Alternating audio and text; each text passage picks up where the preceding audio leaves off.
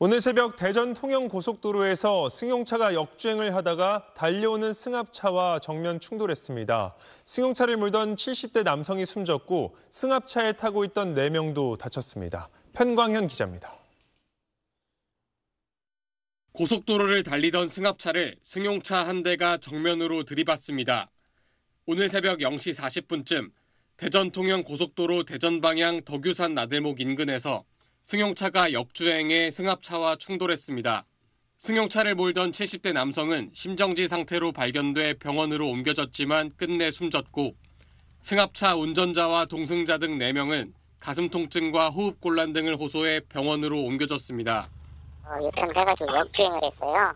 한 2, 3km 정도로 파악을 하고 있어요. 근데 CCTV가 없거든요. 그 지나가고 나오는 예, 예. 사이가. 경찰은 목격자와 숨진 운전자 유족 등을 상대로 정확한 사고 경위 등을 조사하고 있습니다.